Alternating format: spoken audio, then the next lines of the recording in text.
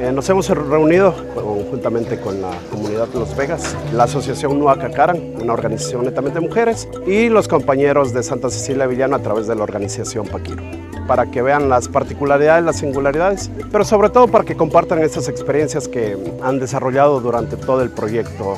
Pero ya nos dijeron que era una comunidad Schwartz, como ellos se organizan también de la mejor manera, la vestimenta, el recibimiento, la comida, la danza. En busca de un bien colectivo como es el desarrollo intercomunitario. Cuidar la naturaleza, cuidarnos nosotros, cuidar el, el agua, el aire, eso hace pues que todos estemos contentos y todos estemos sanos. Hoy por hoy tenemos igualitas chacras con sembríos, está la yuca, está el maní, está el maíz, plantas medicinales. Nosotros esperamos seguir enseñando a otras nacionalidades, que en otras provincias vean todo el trabajo que nosotros estamos haciendo. Queremos innovar nuestro producto para de ahí nosotros sustentarnos también y ayudar a que tengamos una seguridad alimentaria.